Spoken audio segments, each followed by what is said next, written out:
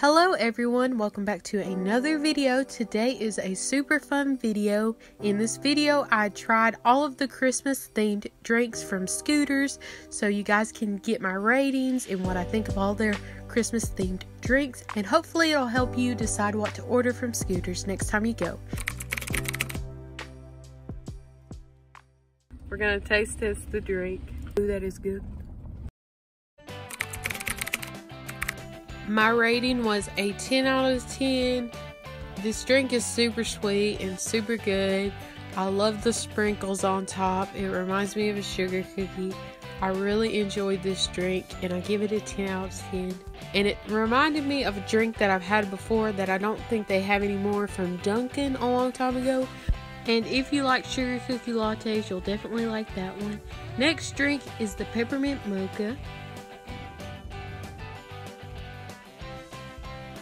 Okay, we got the peppermint mocha iced from Scooters. We're gonna try it and see if it's good. Pretty good. Okay, when you get it iced, I don't know if, it's the same, uh, but it's probably just covered up. There's these good peppermint things that they put on top. It's kind of like peppermint melted bark stuff. It's really good. It's just not as pepperminty as I was expecting it to be. So I would say if you want a peppermint mocha that's really peppermint, go to Starbucks.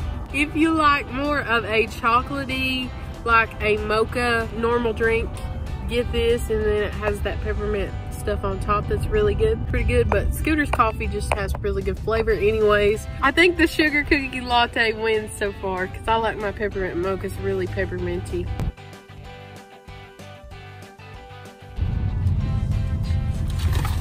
Good. It's caramely and good. This is the uh, praline caramelicious. So this drink is really good. If you like the normal caramelicious, you will like this one.